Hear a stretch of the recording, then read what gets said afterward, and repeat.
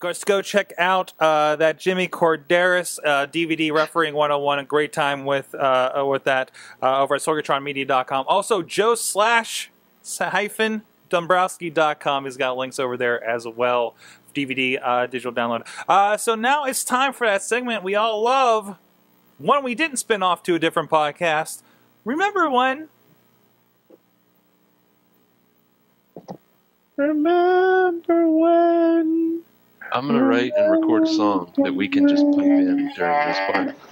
I hope you remember. What the hell is happening? It's not gonna sound like that. Holy fuck! wow, yeah.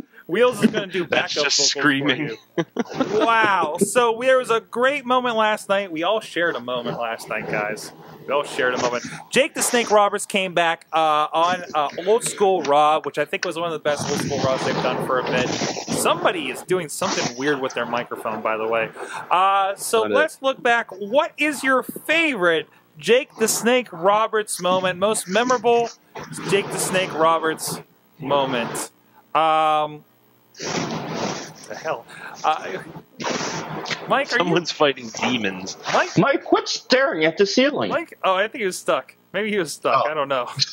I don't know what's going on. Hangout's being weird tonight.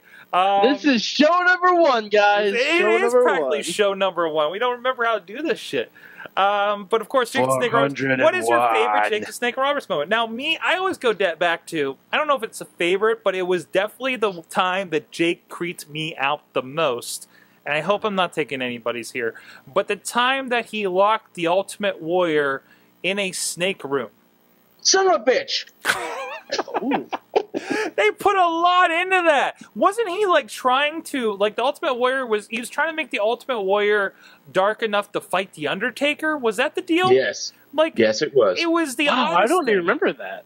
It was um I can't even remember like what the context was. I don't know if it even ended up at a pay-per-view or anything like that. But it did roll into like Jake and Undertaker kind of teaming up.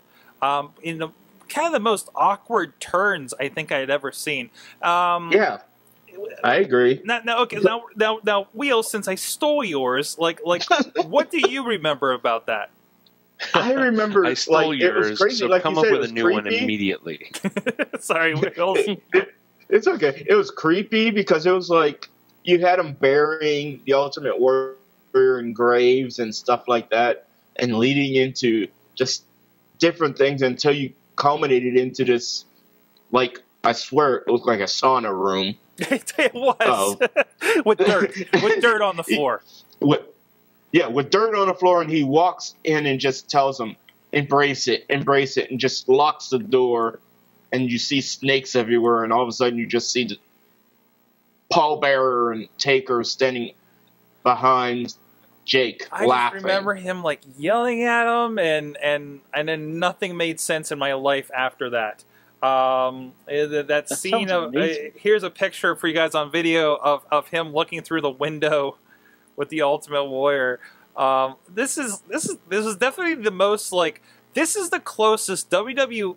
I'm sorry, I didn't get the thing over there. There you go. Uh, th- th- this is the closest WWE ever got to like uh, the really bad WCW, like you know Mick Foley kidnapped Hulk Hogan and and and Kevin The Sullivan. Dungeon of Doom. Yeah, the Dungeon Yeah. of Doom stuff. This is the closest they got to that, and I gotta say they did okay by it, right? That looks pretty awesome. I've never seen that clip before. You've before. never seen that clip before? No, I've never seen that clip before. I gotta look it up after the show. Anyway, I, I actually got Oh. it right here. Um, so I will. It says part two.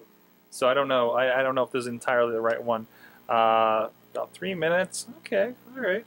Um, no, it, it is a it's a classic moment, and I can't remember it really leading to anything uh, substantial or anything like that. Uh, but that was pretty much the height of it. This was like this was before.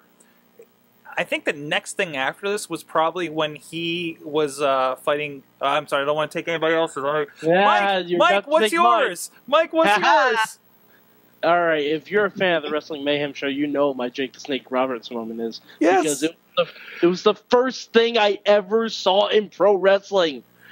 Jake Roberts attacked the Macho Man, tied him up in the ropes, and had a cobra bite the shit out of his arm.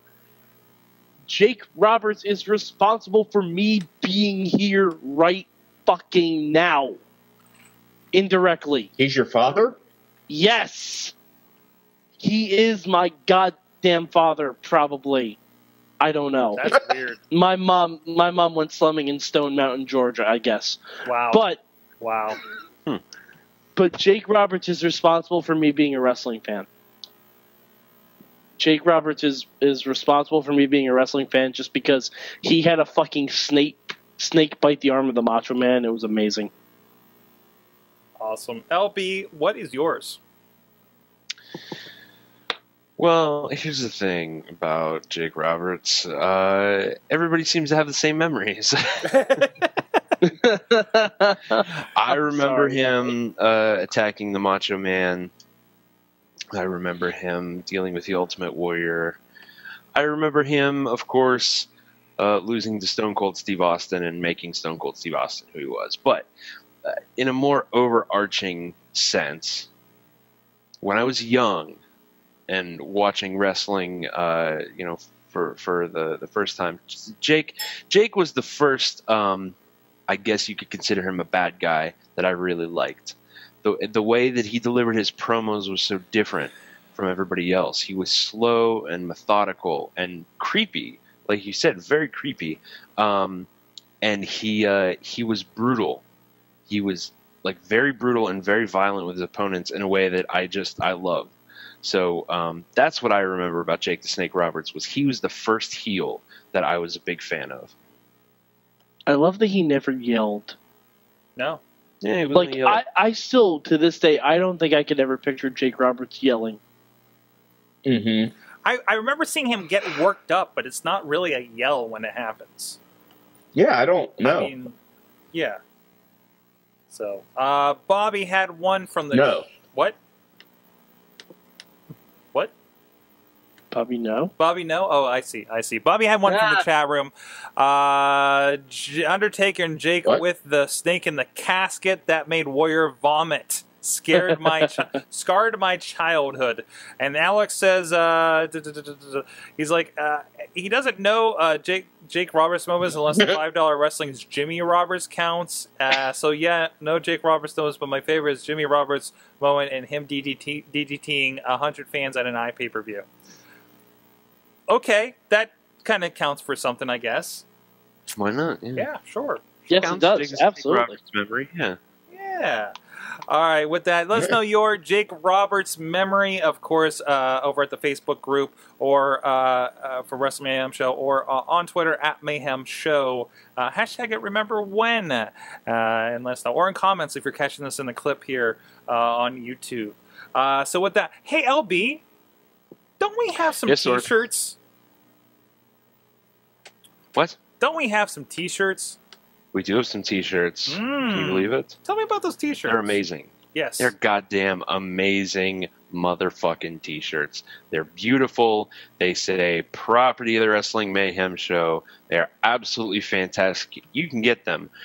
You can get them. It, it- you, the listener, I'm talking to you. I'm not talking to Sorg. I'm talking to the listener. Sorg knows all this shit already. But listener, you're new and you're going to be educated right now. You can get a Wrestling Mayhem Show t shirt. That's right, the thing that you've always wanted more than anything else in your entire life. Secretly, I know your little secret heart, and I know you want a Wrestling Mayhem Show t shirt, but how? I hear you clamoring. How? You're shaking your iPod. How? You're tearing out your earbuds. We'll put them back in because you have to listen to me explain this. Uh, point your browser, whether it be Firefox or Chrome or Opera or the third one or that crappy one, point them to ProWrestlingTees.com slash WMS and you can just shop to your little heart's desire. Because not only do we have Wrestling Mayhem Show t-shirts, uh, they also have t-shirts of all sorts of fancy pants wrestlers. If you like a wrestler and they're not in the WWE, um, they probably have a short for, shirt for them. And you know what? Even if they are in the WWE,